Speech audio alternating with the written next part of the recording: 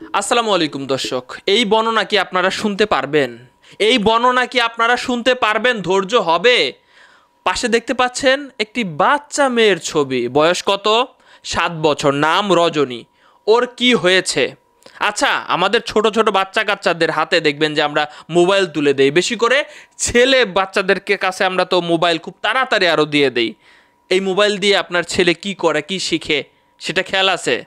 আপনার মোবাইল কেন এই আপনার ছেলে কেন এই মেয়ের সাথে এরকম ঘটনা ঘটনা ঘটাবে?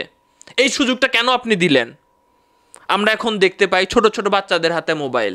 এই মেয়েটার সাথে যা ঘটেছে, আপনারা শেষ পর্যন্ত শুনলে আপনারা নিজেরই হতভম্ব হয়ে যাবেন। আমরা আমাদের আগামী প্রজন্মকে কি তৈরি করছি? দর্শক শ্রোতা, আমরা আমাদের ছেলে মেয়েদেরকে মোবাইল কিনে দেই। ছোটবেলা থেকে বাপরে বাবা আবদার করছে। এখন তো স্মার্টফোনের বাজারের অভাব নাই, দিয়ে দেই। কমের মধ্যেও পাওয়া যায়। কিন্তু আপনার ওই ছেলেটা যে স্মার্টফোন নিয়ে বাচ্চা কাচ্চাদের সাথে মিশে খারাপ হয়ে যাচ্ছে, ওই যে মোবাইলের যে ডাউনলোড কম্পিউটারের ডাউনলোডের যে দোকান আছে, সেখানে যায় যে বলতেছে যে এরকম, ওরকম আমাদেরকে ভিডিও দাও, আমরা দেখব, আবার দোকানদাররা দিয়েও দিতেছে টাকার লোভে দশ বিশ টাকায় লোড দিয়ে দিতেছে।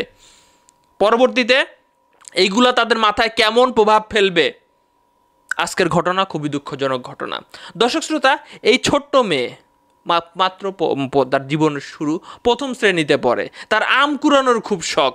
রজনীর আম কুড়ানোর খুব শখ। মাঝে মধ্যে আম কুড়াতে জঙ্গলের আশেপাশে চলে যায়।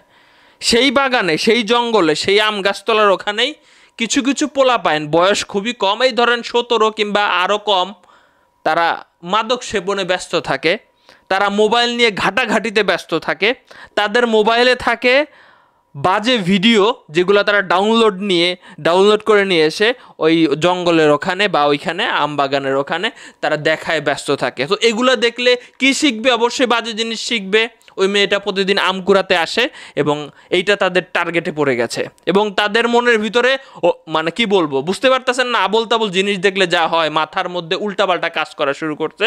প্রায় দশ দিন, বিশ দিন যাবৎ পরিকল্পনা করছে যে হ্যাঁ এ তো রেগুলার আম কুড়াইতে আসে এই মেয়েটা।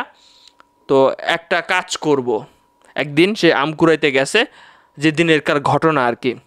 আম কুড়াইতে যাওয়ার পরে এই ছেলেরা, আমি যতটুকু শুনেছি, দুই তিনজন জাস্ট ভাবেন দুই তিনজন, এই মেয়েটারে ধরে জঙ্গলের ভিতরে নিয়ে যায়। নিয়ে গিয়ে দুই তিনজন হ্যাঁ ঠিক ধরতে পেরেছেন। এই ছোট্ট বয়সে এই বাচ্চা মেয়েটার সাথে দুই তিনজন। ইজ্জত হ্যাঁ আমি আবারও বলছি, আর খুলাসা করে বলতে হবে, অজ্ঞান হয়ে গেছে। আপনারা তো জানেন আরও কি কি হতে পারে? আমি সেটা খুলে বলতে বলতে চাচ্ছি না। এদের মাথায় আবার আরও বললাম না, যারাই ঘটনাটা ঘটাইছে, ওদের বয়স ষোলো থেকে সতেরো বছর। কি বলবেন আপনারা? এরপরে সে তো অজ্ঞান হয়ে গেছেই, বাকি কথা নাই বললাম, তাদের মাথায় আসছে। এ যদি আবার জ্ঞান আসে, এ যদি আবার অন্য কিছু করে, সবাইরে বইলা দেয়, সে করছে কি ইট নিয়ে।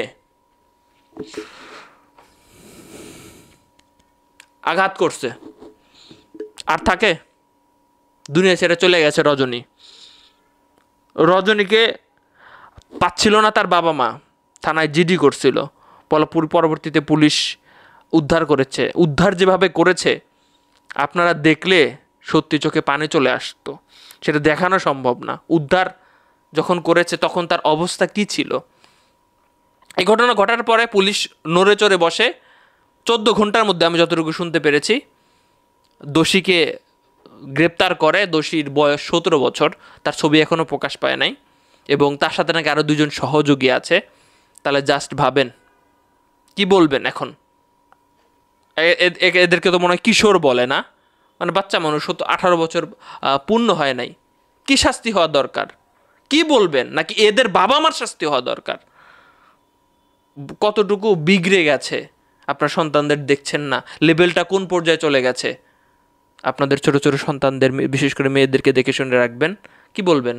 আমি তো হতবম্ব বলবেন যে এই এই বয়সে একটা ভুল করে ফেলেছে। প্রাপ্তবয়স্ক হয় নাই, নানান বাহানা আসবে। হয়তো বা শাস্তি কম হবে। খুবই দুঃখজনক ঘটনা। এরকম ঘটনা যেন আর না ঘটে আমাদের কোনো বোনদের সাথে। কঠোর আইন প্রয়োগ করতে হবে। আর যাদের ছেলে আছে তাদেরও কঠোর হইতে হবে। অল্প বয়সে মোবাইল দিয়া নষ্ট করেন না বাচ্চাদের। আর কি করে সেটা একটু খেয়াল রাখেন।